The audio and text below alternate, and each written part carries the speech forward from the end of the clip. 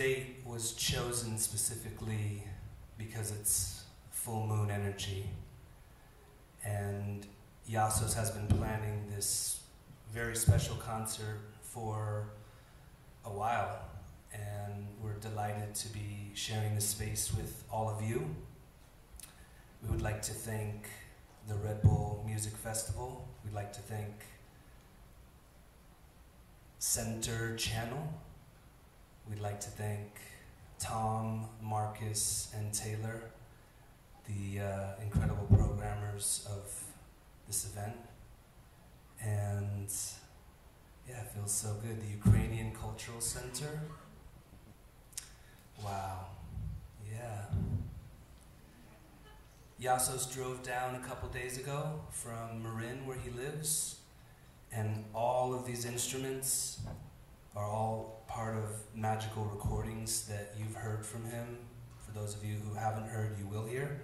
For those of you who have been collecting his music since the mid 70s, a lot of these instruments have been utilized and um, programmed and expanded on in that time.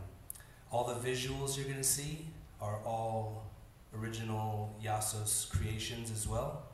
And without further ado, this very, very special being in what is only his second ever Los Angeles concert here tonight, Iasos.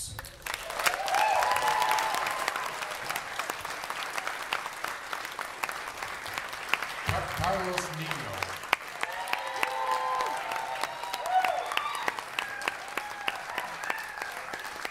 I, I love Carlos very, very deeply. Okay, once I begin, I'm not going to be doing any talking at all. It's going to be totally right brain.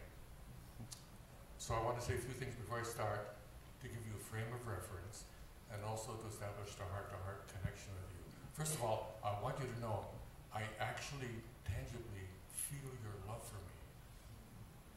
I'm feeling it. Thank you. Uh, secondly, uh, my intention is to raise the vibes, but already they're so high here tonight that I don't need to do anything.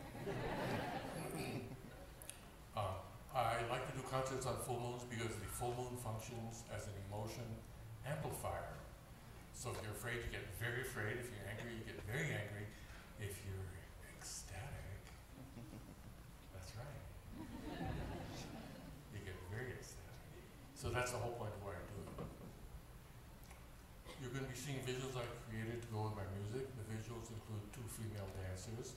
The lady that dances with veils, her name is Heaven. The lady that dances with wings, her name is Maya. No, I did not make up those names. they actually have those names.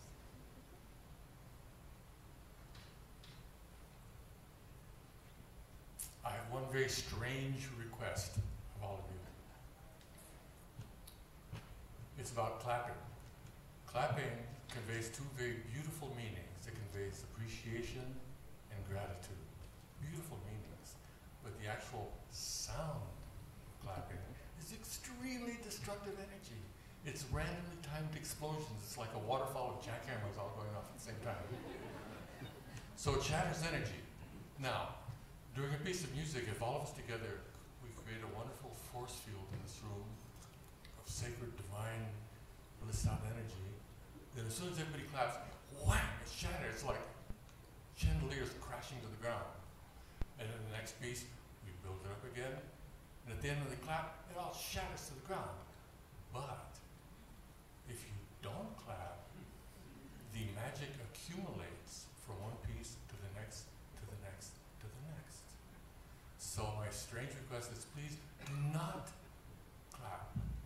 If you feel a need to express appreciation or gratitude, I invite you to use a different sound, which is uh, not destructive at all. Simply to say la. It's a smooth vibration, doesn't shatter energy like explosions, like hitting your hands together. So if you do that, if you don't have to, but if you do that, please do that instead of clapping. Thank you very much. Now, when I'm finished, some of you will be ready to just pop out of your chair and go to the next party. And that's fine. And some of you are going to be very far out or very far in. Your eyes going to be closed, and it's going to take you time to come back.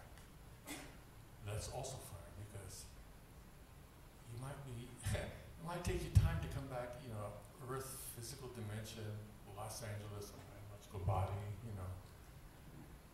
So very sensitive to those people sitting immediately around you. If you're one of those that wants to get up early at the end, no problem, that's perfectly fine. But don't, if the people around you have their eyes are closed, don't bump into them because might jolt them back into their body. And I want everybody here to have a really smooth, nice, fun, delightful experience. So please be gentle and caring with the people sitting immediately around you so you don't jolt them if you get up before they do. If their eyes are closed, it's a good sign that they're not ready to come back.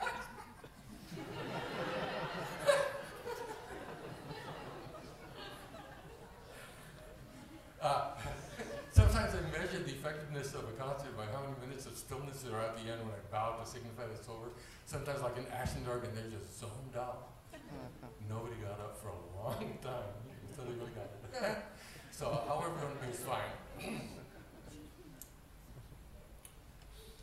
I'm going to give you uh, full disclosure. My intention here is that all of us together co-create a force field in this room which allows enhanced access to higher dimensions of light, love, harmony, beauty, and blissful feelings. Higher access to your own higher self, higher access to divine beings like your personal angels or guides or guardians or any favorite divine being you work with. So my intention is that all of us together create a force field in this room to do that. Are you aligned with that intention? Well, then we're going to have fun. Okay, so get comfortable. Here we go.